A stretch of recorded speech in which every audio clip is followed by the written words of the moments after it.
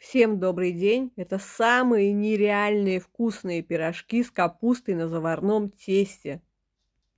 Давайте будем приступать. Нам понадобится 250 мл кипятка, 100 грамм муки. Все это хорошо перемешиваем. Добавляем сахар, соль, дрожжи. Все хорошо замешиваем. Снова добавляем уже теплый 100 мл воды, 300 мл подсолнечного масла и хорошо замешиваем. Добавляем 400 грамм муки и замешиваем тесто. Оставляем его на 10 минут. Для начинки нам понадобится капуста, морковь и лук. Обжариваем на подсолнечном масле, добавляем соль и перец. Тесто выкладываем на стол, делим на половину и делим на маленькие порции. Потом скатываем шарики.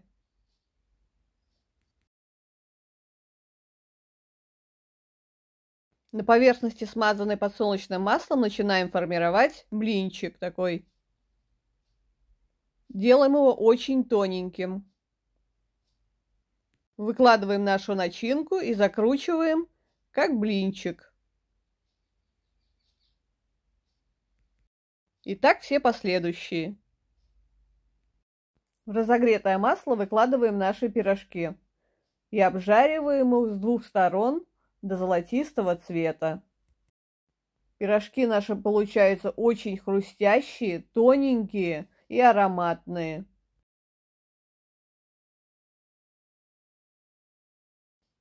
Всем приятного аппетита! Подписывайтесь на мой канал. До скорых встреч!